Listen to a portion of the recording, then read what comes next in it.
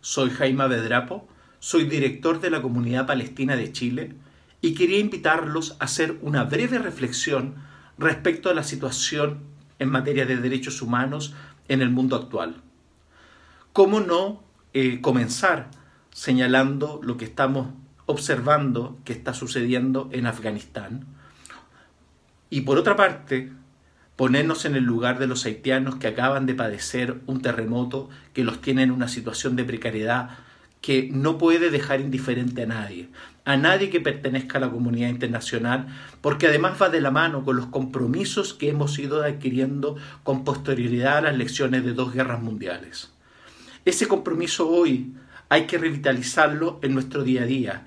Y por cierto que Chile no debiera ser la excepción en el marco de un constituyente en el cual se están estableciendo los cimientos para el futuro de la nación en los cuales se deben alimentar desde una perspectiva de protección y garantía en materia de derechos humanos. Una visión ontológica, una, una visión de la persona, colocarla en el centro de la discusión para poder, de alguna manera, mantener los compromisos que hemos hecho con la humanidad.